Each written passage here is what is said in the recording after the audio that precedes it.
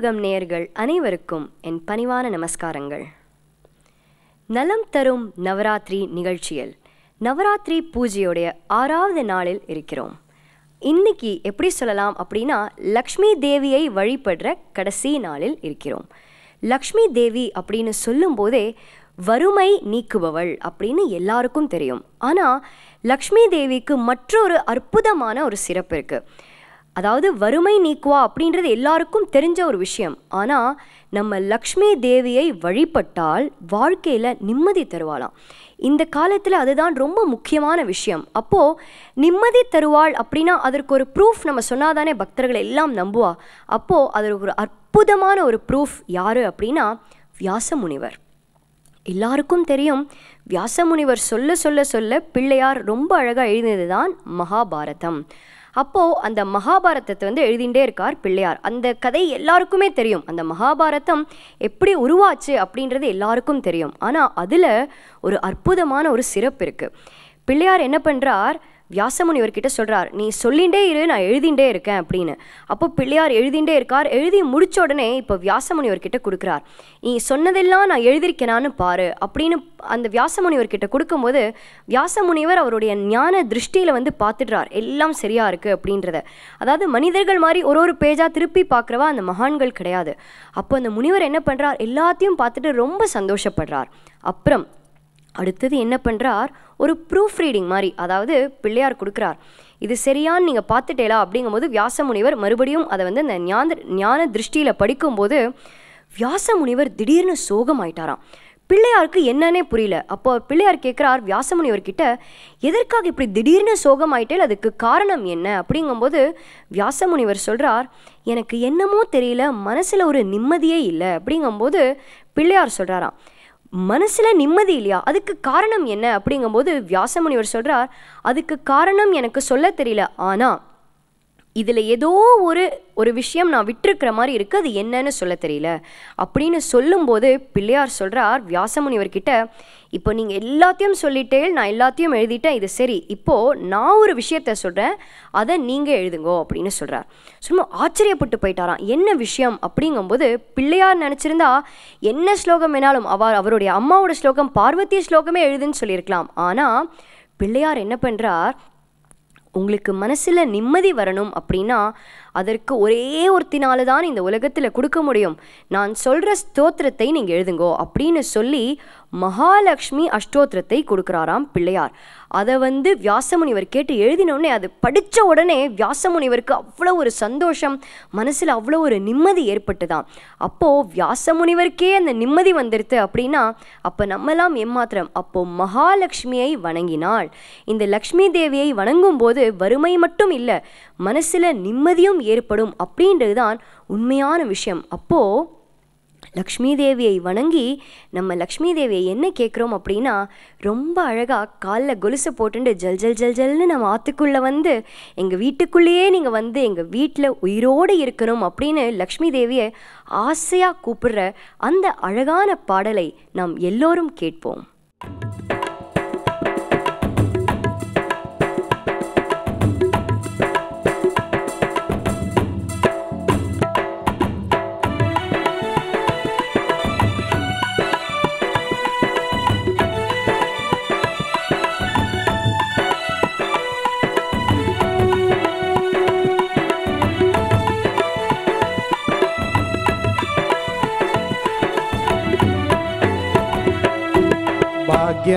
తరుం లక్ష్మీ వామా నమ్మమ్మ శ్రీ సౌభాగ్యం తరుం లక్ష్మీ వామా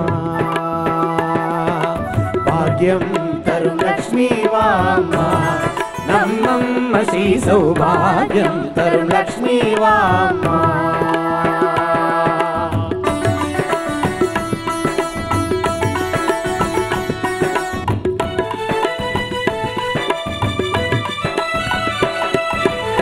பாதச்சலங்கை நாதம் ஒலிக்க அடிமேல் அடியை வைத்து நடந்து பாதச்சலங்கை நாதம் ஒலிக்க அடிமேல் அடியை வைத்து நடந்து பக்தர்கள் செய்யும் பூஜையின் வேளையில் பக்தர்கள் செய்யும் பூஜையின் வேளையில் மோரில் கடையும் பெண்ணையை போலே பாக்கியம் தரும் லக்ஷ்மி வாமா நம்மம் ஸ்ரீ சௌபாகியம் தரும் லக்ஷ்மி வாமா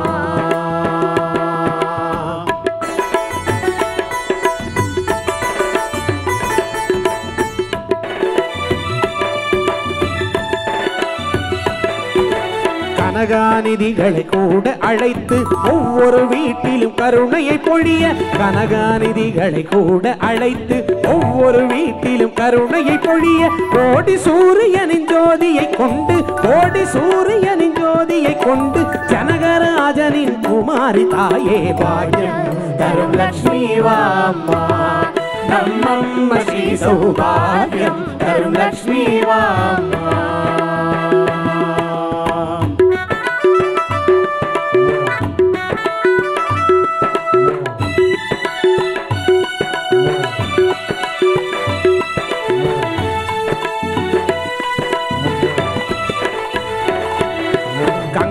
சூடிய கையை அசைத்து குறைவில்லாத பாக்கியம் தருவாய். கங்கணம் சூடிய கையை அசைத்து குறைவில்லாத பாக்கியம் தருவாய். குங்குமவண்ணன் பங்கையர் கண்ணன் குங்குமவண்ணன் பங்கையர் கண்ணன் வேங்கடரமணன் அரசராணியே பாக்கியம் தரும் லக்ஷ்மி வாமா.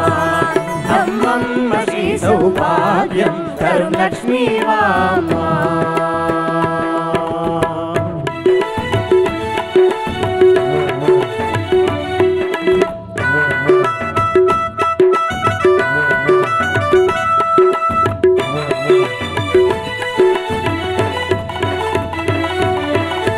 நித்தமும் உன்னை தொழுவோர் மனையில் நித்தமும் உற்சவம் நித்தமும் மங்களம் நித்தமும் உன்னை தொழுவோர் மனையில் நித்தமும் உற்சவம் நித்தமும் மங்களம். சத்தியம் காக்கும் சாது ஜனங்கள் சத்தியம் காக்கும் சாது ஜனங்கள். நித்தமும் பணிந்திடும் புத்தொழி வடிவே பாக்யம் தரும் லக்ஷ்மி வாமா நம்மம்ம ஸ்ரீ சௌபாகியம். தரும் லக்ஷ்மி வாமா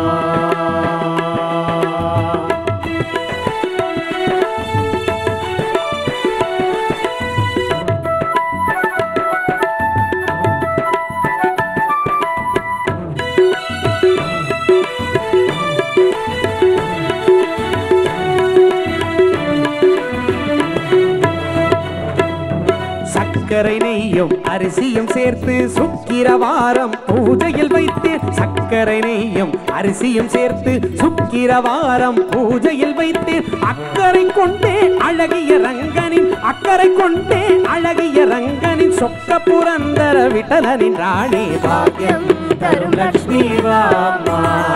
நம்மம்ம ஸ்ரீ சௌபாகியம் தரும் லக்ஷ்மி வாமா.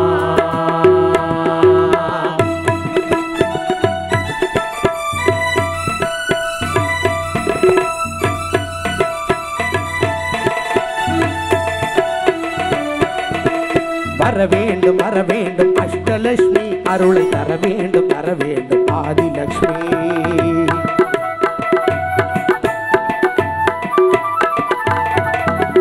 வர வேண்டும் வர வேண்டும். அஷ்டலட்சுமி அருளை தர வேண்டும் தர வேண்டும். ஆதிலக்ஷ்மி சந்ததியை தந்திடுவாய் சந்தான லக்ஷ்மி எண்ணும் பல யோகங்கள் தருவாய கஜலட்சுமி வர வேண்டும் வர வேண்டும். அஷ்டலட்சுமி அருளை தர வேண்டும் தர வேண்டும். ஆதிலக்ஷ்மி தனம் பெருக மனம் உயர கண் பாராய் மனம் குளிர நிலம் செழிக்க நீ அருள்வாய் தானிய லட்சுமி தனம் பெருக மனம் உயர கண் பாராய் தனலட்சுமி மனம் குளிர நிலம் செழிக்க நீ அருள்வாய் தானிய லட்சுமி கலைகளில் வெற்றிகளை காண அருள் விஜயலட்சுமி சௌபாகியங்கள் தந்திடு மகாலட்சுமி. உலகெங்கும் வீரத்தை நீ அருள்வாய் வீரலட்சுமி.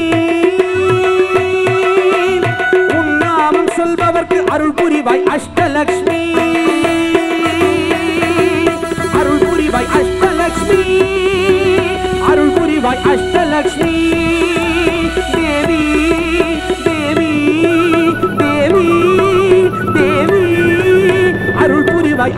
அஷ்டலட்சுமி அருள் புரிவாய் அஷ்டலக்ஷ்மி. பக்தர்களுக்கு அருள் புரிவாய் அஷ்டலக்ஷ்மி.